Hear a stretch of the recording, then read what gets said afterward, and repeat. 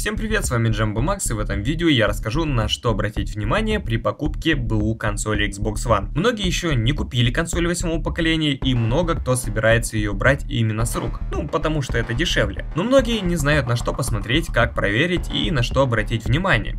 Видео поможет новичкам и будет актуально еще долгое время, так как после анонса новых консолей объявлений о продаже будет невероятно много. И давайте начнем. Самое основное, самое главное, что нужно проверить в консоли, это ее работоспособность способность. Спасибо, Кэп. Чтобы ее проверить, нужно тупо посмотреть, включается она или нет. То, блять, и мы сами не догадались. Включаем в розетку и нажимаем на кнопку. Если меню загрузилось, то в принципе все нормально, но не расслабляйте свои булки. Помимо простого включения, обязательно проверьте, подключается ли консоль к сети. Первое через Wi-Fi, второе через провод. Почему это нужно проверить? Потому что у многих либо сгорает модуль, который отвечает за Wi-Fi, и у многих по каким-то причинам не работает проводное соединение. Делается это просто. Чтобы проверить через шнур, достаточно просто вставить интернет-кабель в задний разъем. Если спустя некоторое время подгрузились компоненты меню, значит все окей. Чтобы проверить Wi-Fi, переходим в настройки, в раздел сеть, добавить сеть. И интернет можно раздать с телефона. Если же Connected, значит все нормально. Помимо этого, когда будете проверять сеть, взгляните внимательно на меню. Мало ли вы не обратите внимания и не увидите вот такую вот волшебную надпись. Если вдруг такая надпись будет, то знайте, эта консоль находится в бане, значит заблокирована,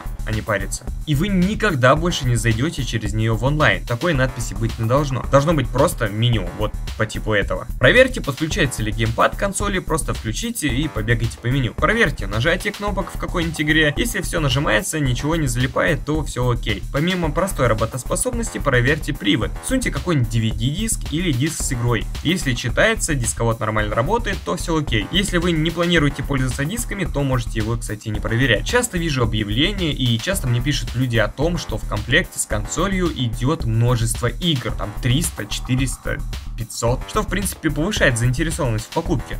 Но тут не все так просто. В первую очередь обратите внимание, какие игры, так как количество это никогда не означает качество. Да, все игры на вкус и цвет, но мало ли там все довольно старые и слабые игрушки, а именно инди-проекты. Также подводный камень может крыться именно в том, что все эти игры были приобретены за счет подписок. То есть, чтобы на вашей консоли было множество игр, можно купить подписку Xbox Game Pass или Electronic Arts Access. И у вас будет столько игр, что вы просто офигеете. Но доступ к этим играм прекратится тогда, когда закончится подписка. Поэтому взгляните, активна ли подписка, а это находится слева вот здесь. Если есть подписки, значит будет так. Если нету подписок, значит ничего тут не будет. И вообще, тут самое главное обратить внимание на то, в каком виде эти игры находятся. В цифровом, приобретены через внутренний магазин или кодом, либо же на диске. Почему это важно? Потому что если миллион игр находится именно на консоли, значит они привязаны к профилю. Если привязаны к профилю, значит никто вам не даст гарантию, что вам никто не перекроет доступ к играм. Так как если у учетной записи сменить пароль, то вы просто в этот профиль больше не зайдете, а значит в игры вы больше не поиграете. Некоторые люди могут сказать, что профиль может стоять домашним и ничего страшного.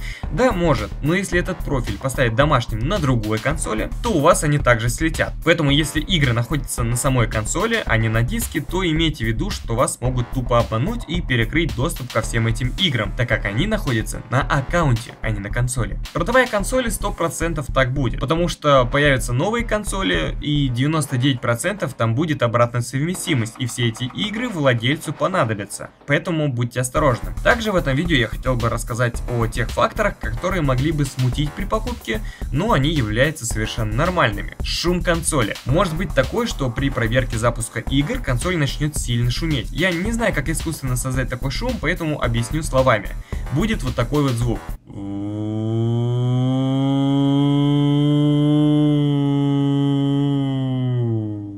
Опять тихо. Да, именно такой звук.